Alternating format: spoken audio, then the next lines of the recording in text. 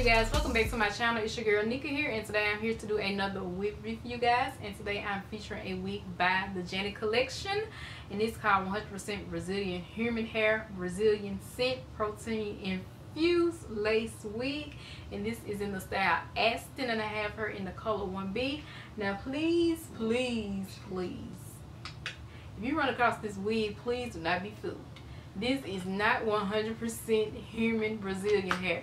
This is just a blend. It's infused with it. So it's a blend with synthetic. So do not think you're about to get a 20 some dollar wig with human hair because you should know right then it's, it's not true. So I got this hair from wigtypes.com. I think this wig is supposed to last longer due to it being infused with Brazilian human hair. And this wig features three combs, two combs like on these sides, this side of the wig, like for from the part, a comb in the back with adjustable straps. This wig is definitely big head friendly, so if you have a bigger size head, then you definitely can rock this wig. Because this texture of the wig is silky, it's not yucky, it's not coarse, it's just straight silky. Now, this is hard lace. Okay, and this wig does come with baby hairs. Now, I am not a fan of baby hairs at all, so I just tuck them under the wig but i'm gonna eventually cut it off cut it off because i do not like baby hairs these baby hairs just like a different texture.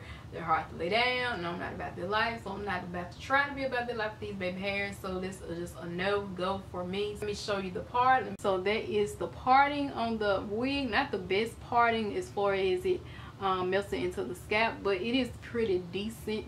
Just have to do a better job blending. I did on this wig and also I did put I did put powder in the wig, but I did not pluck it. And this is the silky texture. As you can tell, it's just silky. It's really silky.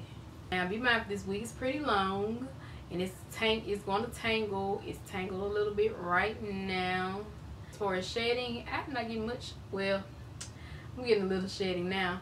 But not too much shedding so far. This video, of this wig is a natural looking. This is not too thick it's not thin either. It's believable. It's not too much. It's just enough. It's it's full but it's not too full. Let me show you this hair all the way around. This is Astin in the front. This this is her on this side. So on the back. And this is Astin on the opposite side. This is the wig with all the hair behind my shoulders and back to the front again. So it's really nice. It's cute. It probably can't pass for human hair but let me show you the length of the hair. Very very very long. This is the length. Like almost at my hip bones. All right you guys that concludes my video.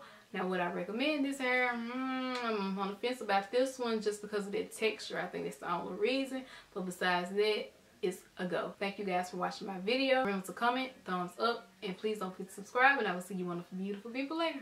Bye-bye.